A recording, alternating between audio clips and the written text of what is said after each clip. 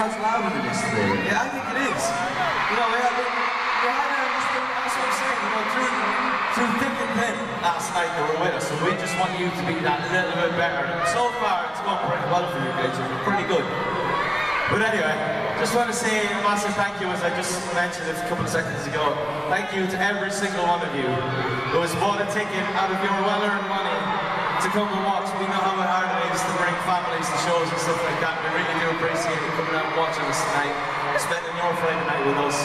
Apparently there's a Coronation Street omnibus on Friday night, so you're missing out on that. So, um, not to worry, we're going to have a bit of a laugh in here tonight and have a bit of fun, so let's go.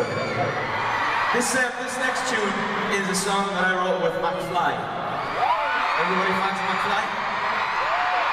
And um, basically sums up situations like this because we all come from small places all over the UK and Ireland, as you all know. And um, for the last five years, you guys have given us the opportunity to travel the world and see a lot of very cool places, do a lot of very cool things, and play amazing scenes all over the world, including things like this. So we cannot thank you enough. So when I was writing this one, I was thinking about you guys and what we what we'd all achieved together and what you guys have done for us. And really you deserve another round of applause because you're an absolute family. Um, so this one is for you. This is Don't Forget Where You Belong.